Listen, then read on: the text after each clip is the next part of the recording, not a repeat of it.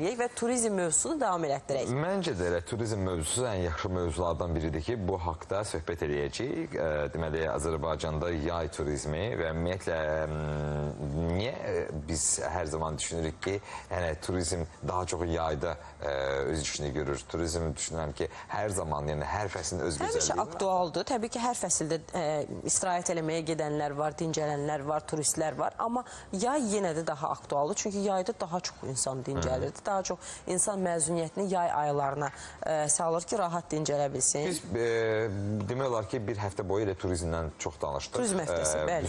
Sonuncu gün olaraq danışaq bu günləri və e, yekun olaraq söhbət eləyək ki, Dövlət Turizm Agentliyi əməkdaşlığı ilə qonağımızda Dövlət e, Turizm Agentliyinin media və ictimaiyyətlə əlaqələr sektorunun müdürü Gülnar xanım Mustafayeva bizim qonağımızda. Xoş Günay xanım, xoş gəlmisiniz. Sabahınız xeyir olsun. Sabahınız xeyir. Necəsiz? Çox sağ olun. Yaxşı olasınız. Siz də yaxşı görünürsünüz. Çox sağ olun. Dövlət. Turizm Agentliyinin işi nədir? Dövlət Turizm Agentliyi mərkəzi icra hakimiyyəti orqanıdır. Dövlət Turizm Agentliyinin əsas missiyası ölkəmizdə turizmin inkişaf siyasətini formalaşdırmaqdır. Buna uyğun olan normativ hüquqi sənədlərin hazırlanması, onların icrasına nəzarət edilməsi, ümumilikdə turizmin inkişafı üçün bir baza yaratmaqdır. E, bacara bilirikmi bununla? Turistləri cəlb edə bilirikmi yetərincə? Düşünürəm ki, bəli, biz bunu bacarırıq. Əlbəttə ki, müəyyən məhdudiyyətlərimiz davam edir pandemiya ilə əlaqədar bildiyiniz kimi. Bununla belə pandemiyadan sonrakı bərpa sürəti həqiqətən çox yüksəkdir.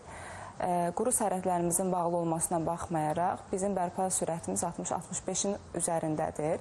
Yəni əgər pandemiyadan əvvəl ə, 3 milyondan çox xarici ziyarətçi qəbul eləmişdiksə, ötən il bu rəqəm 1 milyon 600 mindən çox idi. Yəni ötən il biz 50% ilə başa vurduq, 50% bərpa elədik. Bu ilin ilk 5 ayında isə artıq bu rəqəm 65%-ə qalxıb. Ümid edirik ki, yay mövsümü siz dediniz, yay mövsümü turizm mövsümü hesab olunur dünyanın bir çox Hələ ki, yəni yerində. e, pandemiyadan öncəkini bərpa Xeyr, bilməmişik. təəssüf ki, xeyr. Əslində dünyanın çox az ölkəsində bu tam bərpa gedib. Ümumdünya Turizm Təşkilatının rəqəmlərinə də baxsaq görərik ki, dünyanın bir çox ölkələrində hələ turistik rəqəmlər tam bərpa olunmayıb. Günah xanım bilirik ki, turizm çox gəlirli sahə hesab olunur əslində. Dünyanın bir çox ölkələrinin elə əsas gəlir mənbəyi də turizm sektorudur. Azərbaycan da turizm potensialı yüksək olan ölkələrdəndir. Amma hansı bu gün məsələn çatışmazlıqlarımız var? Nəyin üstündə daha çox çalışmalıyıq? Nəyi daha çox inkişaf elətdirməliyik? Əslində bəli, doğru deyirsiniz. Turizm elə bir sahədir ki, cəmiyyətin bütün ə, iqtisadiyyatın bütün sahələrinə toxunur. Yəni turizmin inkişafı əslində bir çox sahələrin inkişafı ilə qarşılıqlı Paralel sürət- olaraq, bəli. mütləq sürətdə davam etməlidir. Ə, Ona görə çatışmazlıqlar deyəndə bu biraz çox böyük bir məfhum kimi səslənə bilər, amma bizim ən çox eşitdiyimiz şikayətlər arasında xidmət keyfiyyətidir. Yerli turistlər arasında bu qiymət bahalığıdır. Mütləq, bunu mütləq Bəli. demək lazımdır. Məsələn, bayram günləri gəlir və qiymətlər hardadır? Biz ötən günlərdə bu barədə danışmışdıq. 2500 manat bir həftəyə. Bir həftə 2500. Ə, Məsələ burasındadır ki, təəssüf ki, dövlət qiymət tənzimləməsi prosesində birbaşa iştirak eləmir. Qiymət tənzimləməsi pro- prosesində birbaşa iştirak eləyə biləcək iştirakçı ancaq istehlakçıların özüdür, yəni potensial turistlərdir. Biz həmişə bunu qeyd edirik ki, bizim əsas missiyamız bazarda iştirakçıların sayını çoxaltmaq, sağlam rəqabət mühiti yaratmaq, bununla da rəqabət şəraitinə qiymətin öz-özünü tənzimləməsini təmin etməkdir. Yəni turizmdə bazar iqtisadiyyatdan ayrı bir sahə deyil, iqtisadiyyatın bütün digər sahələri kimi, yəni gündəlik istehlak mallarından tutmuş, istifadə etdiyimiz bütün digər xidmətlərə qədər hər şey tələb və təklifə əsasən formalaşır. Tələb artdıqca avtomatik olaraq təklif də yüksəlir. Və bayram günlərində, qeyri-iş günlərində bu tək Azərbaycanda belə deyil, bayram qabağı bütün dünyada avtomatik olaraq otellərdir, turizm agentlikləri e, daha baha qiymətə satış həyata keçirirlər. Ma- Aydın məsələ təbii ki, daha çox pul qazanmaq üçün istehlakçıdır e, və yaxud da ki, e, elə hə- həmin biznes adamıdır. O istəyir ki, daha çox pul qazansın, qiymətləri qaldırır və bilir ki, zaten insanlar gələcəklər və hal-hazırda otellərdə də yer yoxdur. Və əslində, hə, onu gö- görürük ki, biz hə, ki- bir gecəsi ən ucuzunu mən tapdım 300 manata bir gecəsi. E, səhər həmin oteldə belə, hə, Səhər- yəni daxil. Yəni naharı, şamı yoxdur. Və sən hesablayanda ki, 300 manat bir həftə və üstə gəl sən e, şam və də nahar əlavə yeməyi yol falan. O yemək gəl əməli başda e, kəllə çarxa çıxır. E, biz bu gün e, turizmin inkişafı üçün ölkə ərazisində turizmin inkişafı üçün hansı addımları atmalıyıq bir e, biz özümüz, yəni cəmiyyət olaraq nə etməliyik buna görə? Ə, yəni biraz çox ə, mücərrəd sual olsa da mən bunu belə yekun konkretləşdirib cavab verməyə çalışım. Yəni turizm bazarının əsas ə, iştirakçıları hansı ki bu taksi sürücüsündən tutmuş, Bəli. o ə, aeroportda fəaliyyət göstərən iş, işçilər, ə, və Restoranda fəaliyyət göstərən restoranlar. ofitsiantlar. Yəni bayaq qeyd etdiyimiz kimi turizm o qədər ə, unikal sahədir ki, yəni bütün ə, hər tərəfə əhatə edə bilir. Yəni turistlə ünsiyyətdə olduğunu anlayan hər kəs anlamalı o qədər ə, unikal sahədir ki, yəni bütün ə, hər tərəfə əhatə edə bilir. Yəni turistlə ünsiyyətdə olduğunu anlayan hər kəs anlamalıdır ki, turizm ə, davamlı bir prosesdir. Yəni bir dəfə ilə yekunlaşmır. Ə, yəni bir dəfəyə bir dəfəyə gəlir əldə etməyə əsaslanmır. Bu davamlı olaraq is- davam etməli olduğundan insanlar xidmət keyfiyyətinin üzərində fikirləşməlidirlər. Yəni sui-istifadə hallarıdır, aldadılmadır və bu kimi hallardan qaçınılmaq lazımdır. Və maksimum surətdə həmin qonağın turistin bizdən daha razı getməsini, Azərbaycan haqqında xoş təəssüratlarla ayrılmasına çalışmaq Siz lazımdır. əslində başa düşdünüz mən bu sualı niyə verirəm? Çünki mən, e, biz hər birimiz e, ola bilər ki, bir xidmət tə, e, təqdim edirik. E, Xaricdən qonaq gəlir və təbii ki, ona elə bir xidmət göstərməliyik ki, o xarici e, ölkənin vətəndaşı buradan Azərbaycana gedib deməsin ki, ayda filan restoranda məni aldatdılar və yaxud filan restoranda mənə yaxşı xidmət göstərir. Yox, bura bir daha gəlməyim. Yəni bu bütün cəmiyyət üçün e, çox önəmlidir ki, istəyirik ki, hər yerdə turist olsun. Məsələn, Bir də ki, xarici tur turistlər təkcə nəzərə almaq düzgün deyil də. Həm də yerli əhali var ki, onlar da turistdirlər və onların da məmnuniyyəti vacib olmalıdır axı. Niyə görə bu gün yerli turistlər desinlər ki, burada e, dincəldiyim qiymətə məsəl üçün gedib filan xarici ölkədə rahat dincələ bilirəmsə, mən gedirəm onda xarici öz ölkəmdə o xidməti görmürəm. Yəni o pulu ödəyirəm, Bəli. amma qarşılığında o xidməti görmürəm. Baxın biz danışdıqca suallar indi redaktorumuz deyir, tamaşaçılardan gəlir.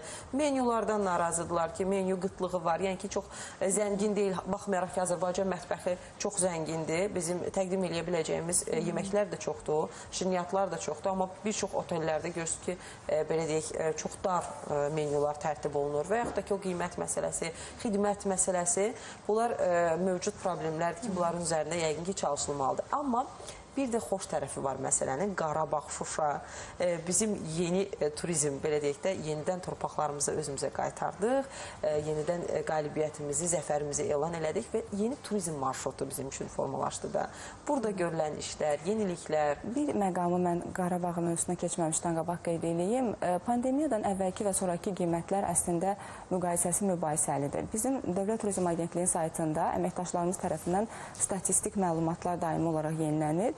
Burada maraqlı statistikalar çıxarılıb. Məsələn, bunlardan birisi, birincisi odur ki, e, Azərbaycan və qonşu ölkələr arasında Booking.com platforması üzərindən otellərin e, qiymətləri müqayisə olunub və e, may ayının göstəricilərini, ümumiyyətlə bu e, ilin ilk 5 ayının göstəricilərinə baxsaq görək ki, ortalama qiymətdə Azərbaycan ən aşağı qiymət təklif edən e, ölkədir. Amma bizim özümüz üçün qiymətlər artır. Məsələn, pandemiyadan qabaq getdiyim Qubadakı oteldə 80 manata əgər gecəsi qalmışdımsa, bu günlərdə baxdıq, həmin otel təklif eləyir bir gecəni 190 manata.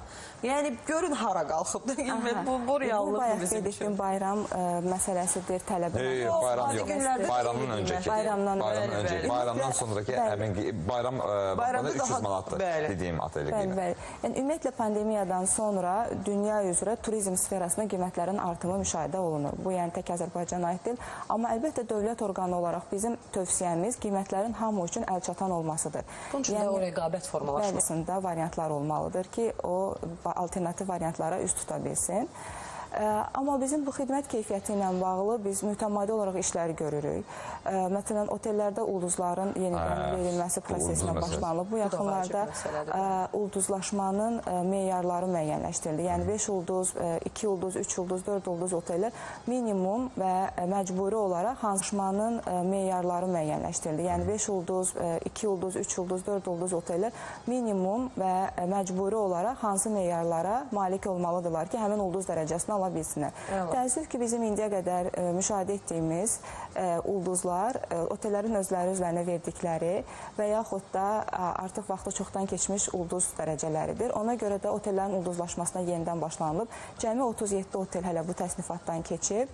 Da bu proses davamlı olaraq davam edəcək. Çünki artıq turizm haqqında qanunda da qeyd olunub ki, ulduzlaşmadan keçməyən otellər müəyyən sanksiyalarla qarşılaşacaq. Hər ulduz nəyisə göstəricisidir düzdürmü? Bəli, bəli. O, orada xüsusi meyarlar var, ballar var, toplanır. İndi hal-hazırda deyə bilməzsiniz bu ulduz, bir ulduz nədir, iki ulduz nədir, üç ulduz Çox nədir? təəssüf yox, çünki o çox böyük bir sənətdir və bunu böyükdür. Çünki o, otelçilər daha qısa yaxşı olaraq deyirlər, məsələn, hovuz, bir ulduz, nə bilim açıq, e, nə bilim e, terası və hovuzu varsa daha bir ulduz əlavə Ümumiyyətlə olunur. mehmanxana və mehmanxana tipli yerləşmə ə, vasitəsi nəyə deyilir? Mən onu sizə deyə bilərəm.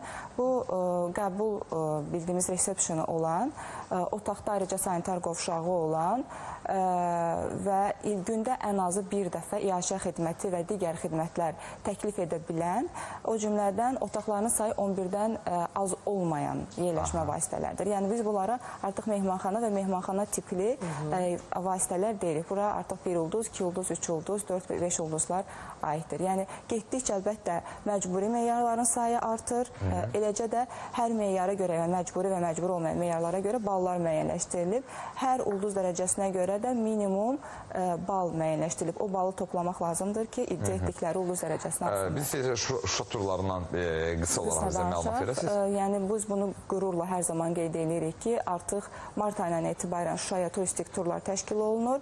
İndiyə qədər işğaldan azad edilmiş ərazilərə ekskursiya turları var idi. Yolumuz Qarabağa nöqtə sayt üzərindən. Amma bizim danışdığımız Şuşa turları Şuşada gecələməklə həyata keçirilir. Şuşada bir gün qalmaqla oradakı tarixi məkanlar, bələdçi xidməti, gündə bir dəfə qida təminatı ilə turistlər, yəni yerli turistlər, Azərbaycan vətəndaşları və yaşı 18-dən yuxarı olan vətəndaşlar bu xidmətdən istifadə edə bilərlər. Ölkədəki turizm agentliklərinə müraciət, Müraciət edərək, eləyərək. Nə ə, Şuşada g- ə, dincəlmək istəyən və yaxud tətilini aralıqdadır? Ə, ş- Bir ə, günlük gecələməklə qiymət 215 manat təşkil edir. Aydındır Təşəkkürlər Gülnar xanım, təşəkkür edirik. Dövlət Turizm Agentliyinin media və ictimaiyyətlə əlaqələr sektorunun müdiri Gülnar Mustafayeva bizim qonağımız idi və suallarımızı cavablandırdı. Təbii ki, suallarımız çoxdur, amma növbəti dəfəyə saxlayaq. Mütləq, Çox bəli. sağ olun, təşəkkür edin.